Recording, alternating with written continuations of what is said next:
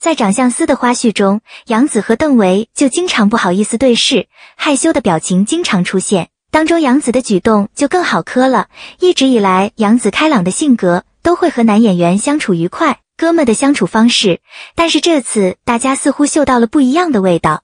在花絮中，杨紫虽然也逗邓为，却多了一些小女孩的意味，多了几分娇羞。就连杨紫的老粉都说，从来没有看过杨紫如此害羞的样子。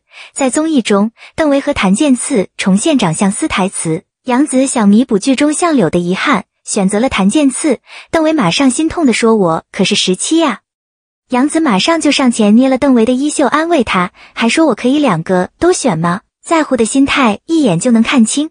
当中最让 CP 粉表示磕到了的是杨紫和邓为丝滑的十指相扣，如果不是平时就牵手的人，这手可以牵得这么自然吗？简直让人磕生磕死。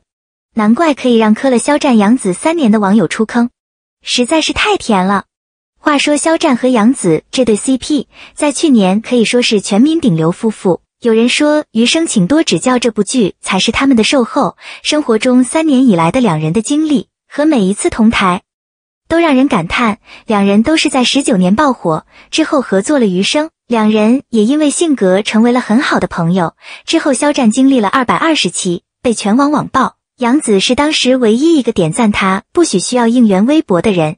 之后，肖战差点离开娱乐圈，就连参加综艺节目都是被一剪墨，重新回到大众视野的的星光大赏。也据说，只有杨紫愿意和他一起上舞台。八秒红海，三生加油，让他们许多 CP 粉泪目。之后，两人二次登顶微博之夜，再次成为 King 和 Queen。肖战的三次提裙摆。也是他第一次，目前唯一一次帮女明星提裙摆。跨年夜，肖战的第一句“新年快乐”，越位站在杨紫身边拍照，两人之间的极限拉扯，让网友觉得肖战肯定是喜欢这个女孩的。再加上去年爆出的摸头杀照片和共用一辆车的新闻，让网友磕到了极致。两个人不管人品还是事业都是非常相配的，可能男演员眼睛拉丝是标配吧。看着如此相配的两个人，依旧没有走到一起。肖战的粉丝和杨紫粉丝更是陷入了几年的互相攻击中，只要有他们两个人的新闻，就有争吵。可能也是这种辱骂的氛围劝退了很多人，所以余生结束后，很多人慢慢开始淡忘。但是两人微博之夜的再次合体，激起了全民磕 CP 浪潮。三年了，肖战的身边一直是杨紫，只能说他们之间的玄学已经脱离了剧情。不过，即便有种种玄学，两人依旧没有走到一起。今年双方纷纷以一人单身，单身小杨来表示两人没有走到一块，再加上两方艺人互相攻击，言语太难听了，把课堂的氛围完全打破。反而邓为那边因为剧播的原因，双方粉丝十分和谐，甚至在邓为的抖音下都快成为杨紫的相片秀场了。大众已经很久没有经过这样好的追剧氛围了，双方还如此和谐，实在难得，也难怪邓为可以一举上位。之前我觉得他们或许有可能走到一起，因为有一些甜蜜的细节给出了这样的示意。说实话，他们几次同框直播给我留下了深刻的印象，尤其是他们在现实中所展现的互动。邓为回北京的行程也让我感到震惊。我本以为他们的关系正在进一步发展，实际上很多人都希望他们能够在一起。然而自邓为从北京回来后，我感觉情况有些不对劲。首先，他换掉了手机壳。虽然我并不认为手机壳可以代表什么，但至少这种改变意味着事情发生了变化。他们几乎没有像以前那样频繁的在微博上互动，而且杨子自己发的几条微博明显的避开了数字时期。我又默默的分析了一下，我认为邓为是一个温柔的男孩，有点像中央空调。比如在云秀行中，当李一桐被雨淋湿时，他拉着他躲避雨水；或者在开玩笑时。这种轻松愉快的交流方式，在工作伙伴之间也很常见。虽然我们认为工作时应该保持严肃和认真，但在娱乐圈，大家都是普通人，谁能把握住戏中戏外、真假之间的界限呢？这很容易导致某些混乱局面的出现。杨紫多年来一直保持着良好的形象，也是因为多次被与其合作的男演员粉丝伤得很深，因此他擅长掌握分寸。然而，邓为毕竟刚刚入行。现在又刚刚走红，肯定会有人试图利用他。长相思的爆火一下，给娱乐圈带来了三个新鲜血液，尤其是妖精党在一众 CP 中杀出重围。在剧粉中呼声最高，邓为也一下脱弧入顶流，人气高涨。有网友说，邓为的出现一下让他出了肖战和杨紫的 CP 坑，磕了三年的一对 CP 瞬间瓦解。杨紫那么多年的银幕情侣，只有这个最让人上头。毕竟谁不爱温柔体贴的叶十七呢？眼中有活，心中有小妖，别人都是旅店，只有我是家的涂山璟。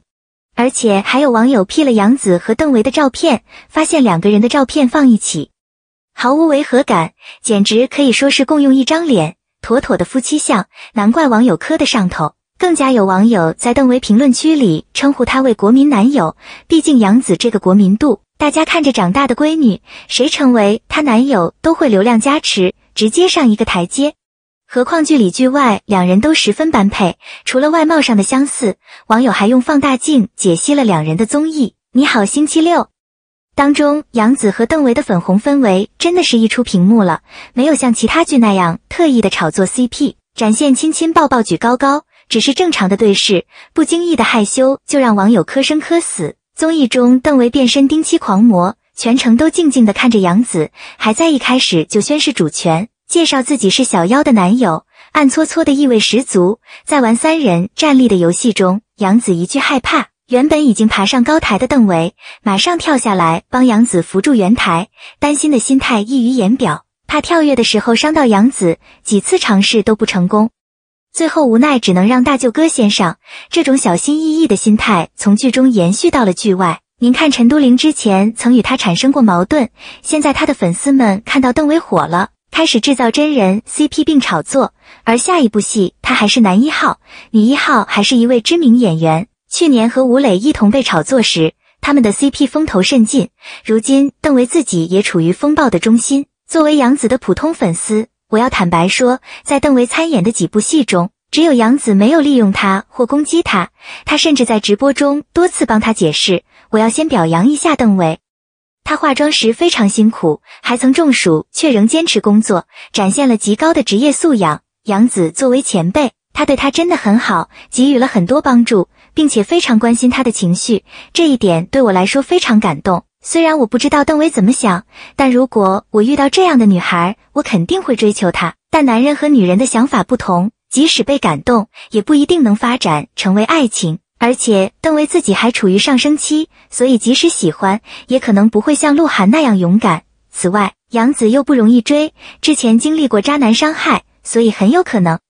在之前，他们可能有互相好感，但现在邓为与涂山璟和叶十七的角色越来越疏远，所以估计他不会主动追求。邓为和杨紫又很忙，邓为还要提高自己的演技，投入到下一部戏中，慢慢也就淡了。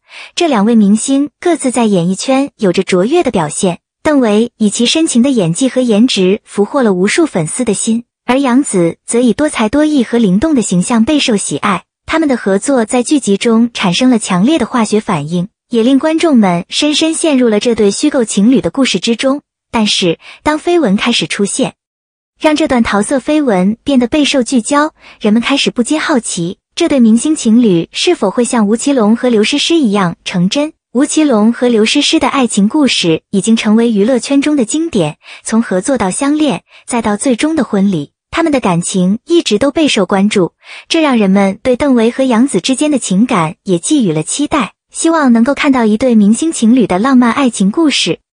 邓为和杨紫是否会走向婚姻，最终的答案只有他们自己知道。无论结果如何，他们的恋情都将成为娱乐圈的一段佳话，也让人们对真爱和幸福充满了期待。绯闻和猜测只是娱乐圈的一部分，而明星们的真正感情生活则常常隐藏在镁光灯背后。无论邓为和杨紫的恋情最终如何，我们都应该尊重他们的隐私，祝愿他们幸福和顺利。或许有一天，他们将会像吴奇隆和刘诗诗一样步入婚姻的殿堂；也或许他们会选择各自前行。不管怎样，让我们继续支持他们的事业和爱情。